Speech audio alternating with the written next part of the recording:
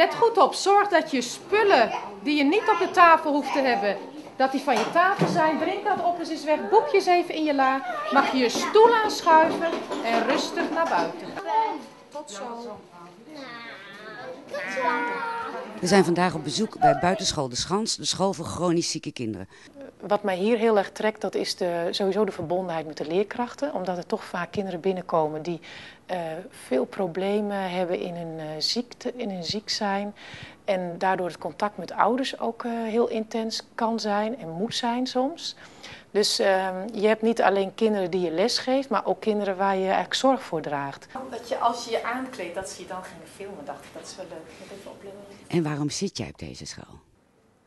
Omdat ik het aan mijn hart heb. Moet je dan wel eens naar het ziekenhuis of niet? Heel vaak. En wat gebeurt er dan daar? Wat doen ze dan allemaal? Moet ik op een bed liggen en dan doen ze plakketjes en dan kijken ze naar mijn hart of het goed gaat.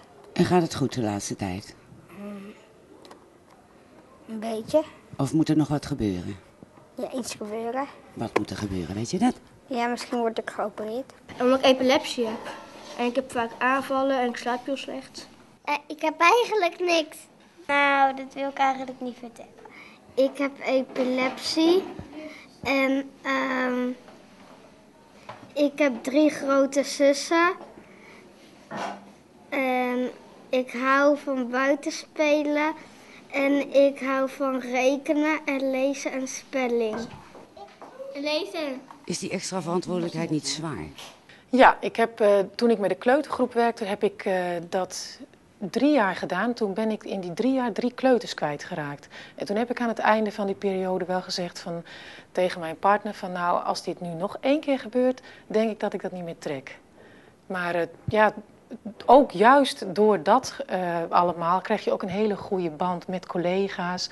En toch ook met die ouders. En dan merk je ook kinderen zelf, ze stappen ook heel makkelijk over dingen heen. Leven en dood staat ook heel dicht bij elkaar. Dat maakt het ook wel heel bijzonder.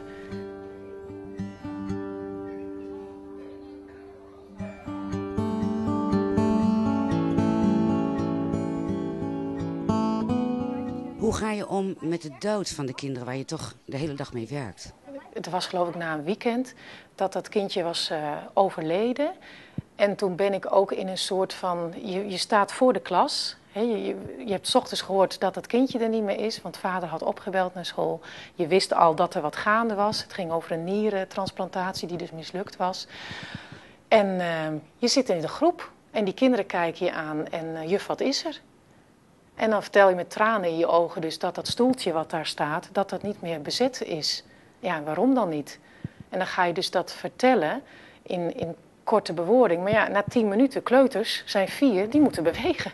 Dus na tien minuten hebben ze zoiets van, ja, en nou, wat gaan we nou doen? En jij zit zelf nog in een soort van, oh, hoe kom ik deze dag in vredesnaam door? En dan pak je een boekje erbij en uh, zo, gaan we nou naar buiten? Nou, en dan gaan we dus naar buiten met z'n allen. En, uh, en dan beginnen ze dus met een schepje, gaan ze gat graven. Wat ben je aan het doen? Ja, we gaan Rames begraven.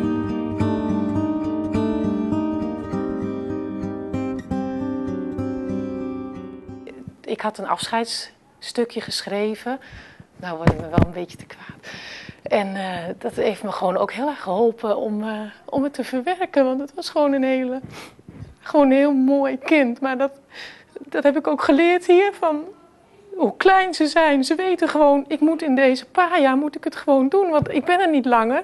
En het was zo, je, krijgt zoveel energie van zo'n kleine clown. Het was zo'n wijs joch. En um, ik heb met die ouders ook daarna gewoon nog wel gesprekken gehad. En um, het mooiste vond ik eigenlijk dat hij...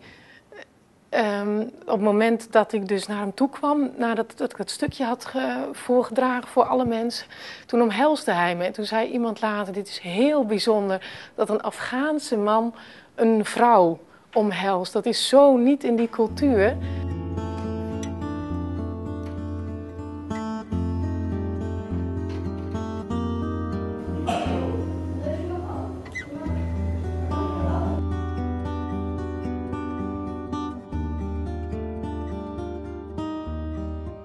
Ik zie die kinderen zoveel plezier hebben hier. Ervaar je dat ook zo? Ja, dat is ook zo. En eh, ze merken dus ook hier dat ze inderdaad eh, toch echt plezier eh, kunnen beleven met hun lichaam. En ook samen. Ondanks een handicap dus heerlijk bewegen. Zoveel mogelijk bewegen.